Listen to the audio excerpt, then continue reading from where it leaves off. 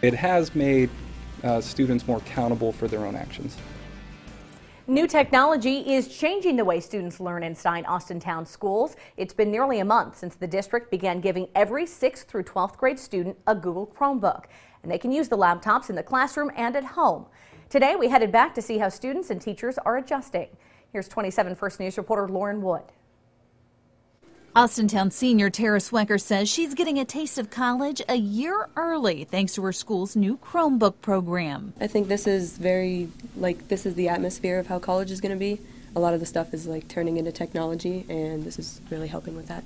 It's revolutionizing the way things are done at Fitch. Gone are the days of students sitting in rows at a computer lab.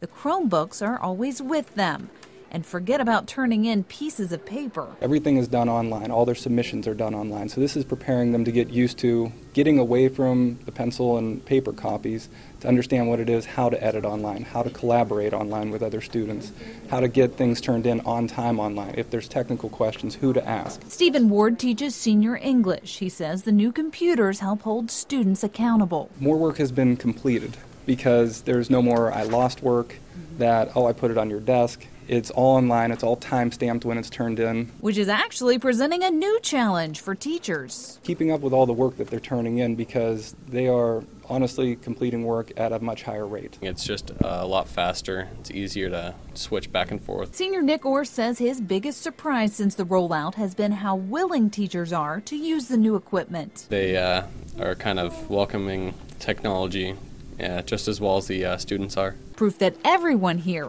is ready for a step towards the future. In Austintown, Lauren Wood, WKBN 27 First News.